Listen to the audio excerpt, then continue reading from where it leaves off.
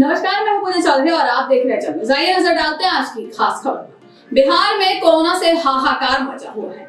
वहीं सीएम नीतीश कुमार के गृह ज़िले में नियमों को ताक पर रखकर बार बालाओं पर डांस करवाया गया। इस डांस के दौरान दर्जनों लोग वहाँ जमा थे। कार्यक्रम का आयोजन नाइट कर्फ्यू लागू होने के बाद किया गया है। आयोजकों ने कोविड गाइडलाइंस की जमकर धज्जिया उड़ाई। इसका आयोजन चैती दुर्गा पूजा के अवसर पर किया गया था। सबसे चौंकाने वाली बात यह है कि ये कार्यक्रम पूरी रात चलता रहा। तेज म्यूज़िक पूरी रात बार बालाओं ने ठुमके लगाए। इसे देखने के लिए आसपास के गाँव के लोग जमा थे।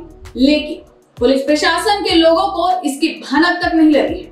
ये पूरा मामला इस्लामपुर थाना क्षेत्र के सोहजाना गाँव के है।